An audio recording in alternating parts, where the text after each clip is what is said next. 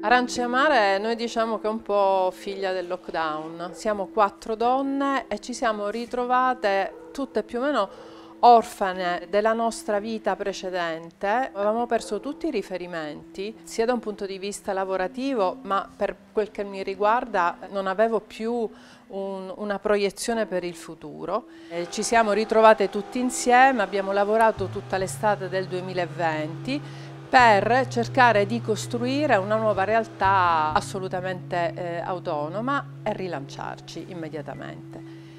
A ottobre siamo andati dal notaio e da là è nata Arance Amare, una cooperativa sociale e noi diciamo che è un incubatore dei nostri sogni, nel senso che l'idea è di riuscire a eh, concretizzare i sogni di ognuna di noi.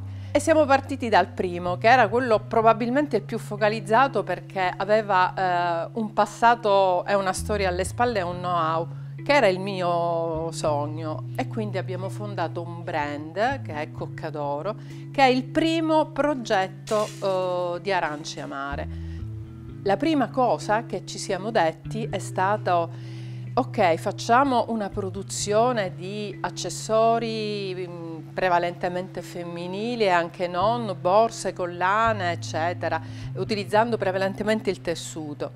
Ma, come dire, sentivamo l'urgenza di riempire di valori questo contenitore. Abbiamo abbracciato la sostenibilità immediatamente il fatto di essere un'impresa solidale.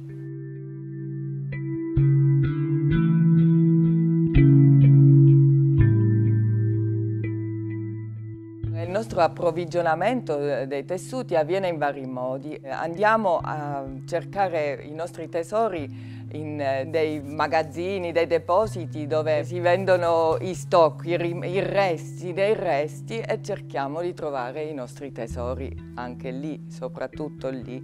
E noi là appunto scaviamo, cerchiamo e troviamo poi le cose che trasformiamo eh, anche dagli espositori dei tappezzieri stessi. Noi tiriamo fuori dei pezzi preziosi che trasformiamo in, poi in oggetti unici. È una, una cosa che dà veramente grandissima soddisfazione perché tu vedi rinascere una cosa che che ti sembra veramente un grandissimo peccato che debba già finire nella spazzatura e soprattutto a noi ci dà la possibilità di lavorare perché noi siamo nati diciamo dal nulla eh, con le proprie forze economiche e questa, questa possibilità di far rinascere delle risorse che sono ancora validissime a noi dà veramente grande soddisfazione. Il nostro ultimo progetto del 2021 eh, si chiama Pensiero Libero, è il progetto di una